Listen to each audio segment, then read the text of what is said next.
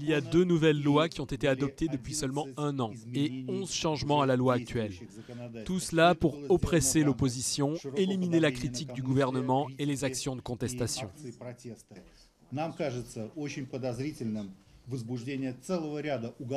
Nous trouvons que le nombre de procès criminels contre l'un des leaders de l'opposition russe, Alexei Navalny, est douteux.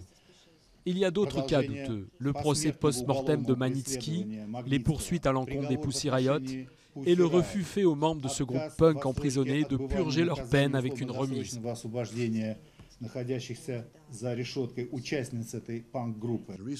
Les intrusions récentes dans des ONG comme Amnesty, dues à la loi des agents étrangers, a montré encore une fois que la situation des droits de l'homme s'aggrave en Russie.